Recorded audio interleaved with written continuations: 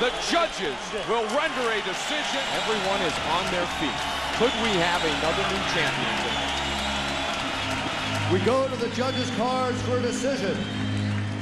All three judges scored a unanimous win for the winner and still